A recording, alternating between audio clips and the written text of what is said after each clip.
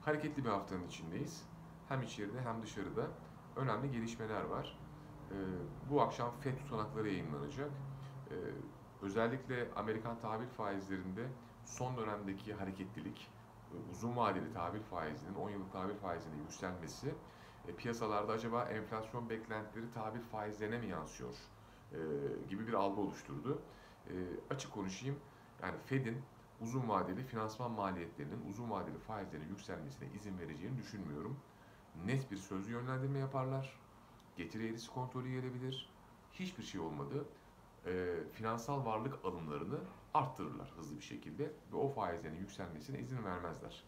E, bu nedenle faizlerin yükseldiği günlerde, dönemlerde, haftalarda bence tahvillere girmek için, portföyde tahvillerin ağırlığını arttırmak için fırsattır Amerikan tahvillerinin. Dediğim gibi çok çok uzun süre faizler Amerika'da düşük kalacak. Ee, tabii tahvil faizlerindeki hareketlilik altın fiyatını da etkiliyor. Altın fiyatı 2070 dolardan işte 1850 dolarlara kadar düştü e, geçen hafta ve sert bir düşüş oldu. Altın fiyatına ben şu aşamada iki şeye bakıyorum. Bir, grafiksel açıdan ciddi bir hasar oluştu. Yani o 2070 dolardan çok sert düşüş 1850 dolarlara grafikte hasar oluşturdu. E, toparlanması lazım. Hani dün 2000 doların üzerinde sarktı. E, ama topa, kalıcı da olmadı. Oradan tekrar bir satış geldi. E, 200 dolarlık geniş bir bant var bence. Yani aşağıda 1880 dolar, yukarıda işte 2070 dolar, kabaca 200 dolar diyelim. E, bu bant içinde bir süre hareket edebilir. E, öncelikle de grafiklerin toparlanması gerekiyor. E, yanı sıra e, mesela o 2070 dolara yükseliş hareketinde altın fiyatının e, madencilik e, şirketlerinin hisseleri destek olmadı. Yani altın uçtu gitti ama e, madencilerin hisseleri e, o dönemde düşüyordu.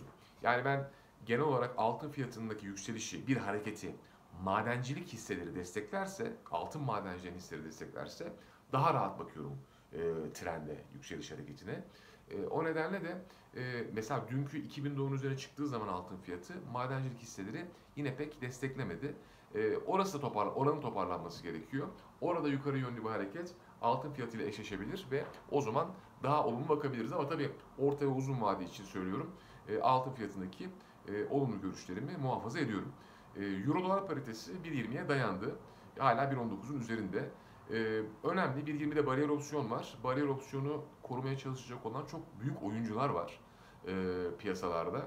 E, o nedenle de yani 1.20 kritik. Bu arada hani geçtiğimiz e, yayınlarda hep belirttim. Yani İsviçre Merkez Bankası'nın Euro'ya tam bir desteği var. Şöyle Euro alımı yapıyorlar.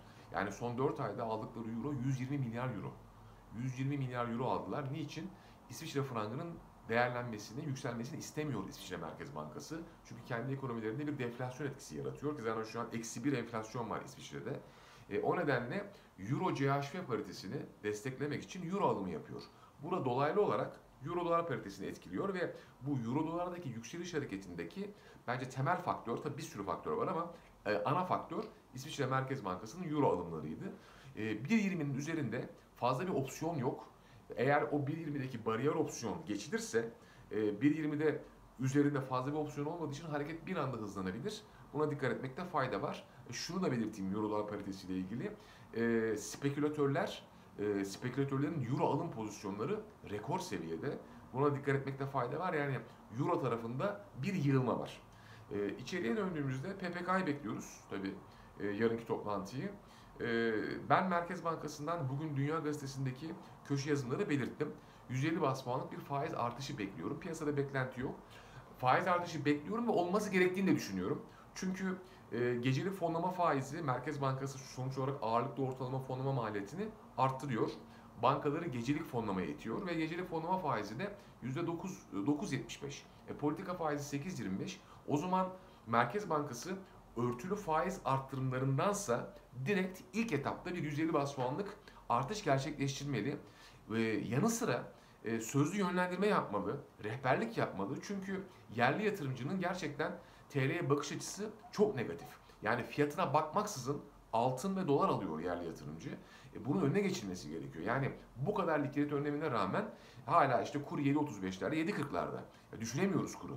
O nedenle bence piyasada yerli yatırımcı bilhassa Merkez Bankası'ndan net bir adım bekliyor. Merkez Bankası öncelikle faizi arttırmalı. Sonrasında da şu sinyali vermeli yerli yatırımcıya. E, ben tasarruflarınızı enflasyon karşısında ezdirmeyeceğim. Eğer bu iki hamle gelirse yarınki toplantıda e, dolar TL'de bir e, rahatlama görebiliriz, bir geri çekilme görebiliriz.